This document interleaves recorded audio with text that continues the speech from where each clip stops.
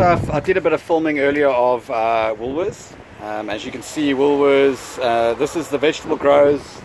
They're in the parking lot in Muizenberg. And then here we can bring our own bags, unlike Woolworths or Pick n Pay. You can see I can buy my products without plastic bags. I can buy them single, and then I bring my own bag. And look at this, awesome. Guys, please do come shop at these guys because this is where plastic free is.